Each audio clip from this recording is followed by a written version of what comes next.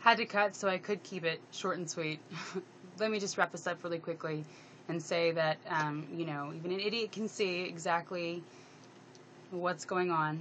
Um, an idiot can see that, you know, the U.S. being tolerant or working with Al Qaeda is um, completely ridiculous. Uh, and it does not take a hero or a martyr to use your voice and say either one, I'm not cool with this, this doesn't add up for me, or two, you know, you're in the wrong and we're not going to take the heat for your war and money mongering, basically.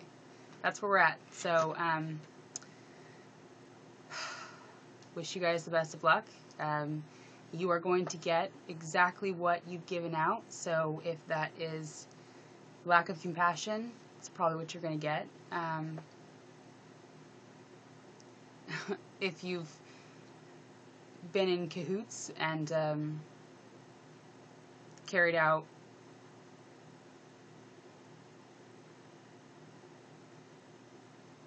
violent acts, that's probably what you're going to get.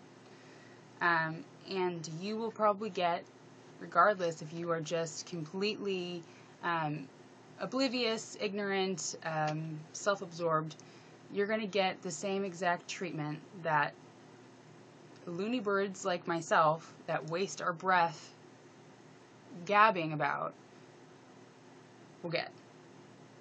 So if the reason that you don't want to say anything is because you're fearful of retaliation, there's not much to fear. You're going to get the same treatment. So you might as well speak up and do something for the greater good than be a coward and um,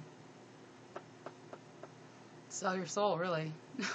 I don't know if there's a, a better way to put that. So good luck, guys, and I will see you next week. Um, I don't know if I can really stress enough that the groups involved in this situation, the national coordinating body, the Syrian National Council, um, who is widely made up of the Muslim Brotherhood, um, and the involvement with uh, Al Qaeda, you know, it doesn't add up. So I'll be back later. Thank you guys. I apologize for the phone, and, um, you know, work it out. All right.